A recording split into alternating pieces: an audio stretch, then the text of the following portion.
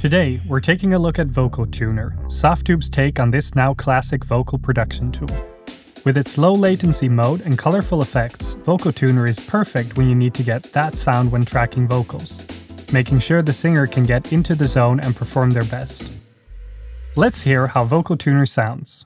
Yeah, well,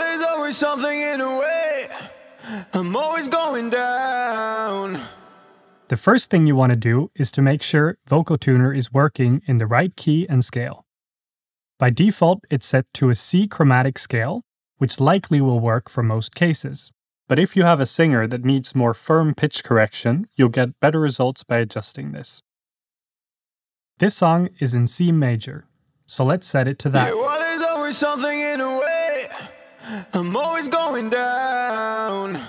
You can now hear that some of the notes in the vocals are now being dismissed, instead making a jump to the nearest allowed note in the scale.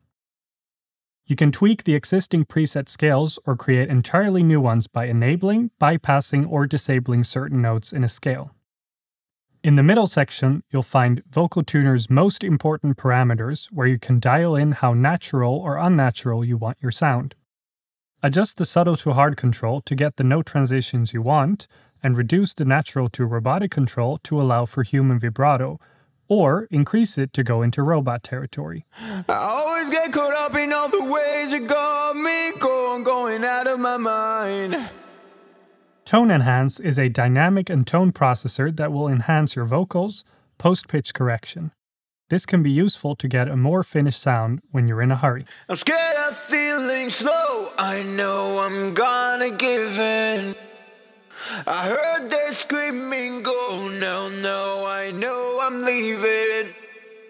Now, let's check out the right panel, because this is where you really can get creative. In the Shift section, you have Formant and Pitch Shifter controls, perfect for vocal shouts or similar effects. No. In the Octave section, you can blend in a mix of an octave up and down to the pitched vocal. I'm scared of feeling slow. I know I'm gonna give in. I heard they're screaming, go, no, no, I know I'm leaving. The Sweeten control adds a slight bit of detuning and formant shifting to the octaves, and the pan control will pan the octave. Yeah, well, there's always something in the way. I'm always going down.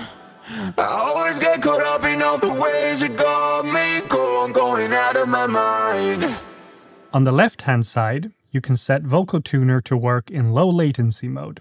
Perfect if you're tracking vocals. Vocal Tuner uses two different methods of pitch correction Classic, which gives the classic automatic pitch correction sound, and Modern, which uses a more advanced pitch shifting algorithm to maintain the formants of your vocal while tuning. Try both of them to see which one fits your vocal better. If your singer has a lower range, you can set it to Extended Low, which will catch notes lower than C2. The sensitivity slider controls the sensitivity of the pitch detector. Go to softube.com and try Vocal Tuner free for 20 days.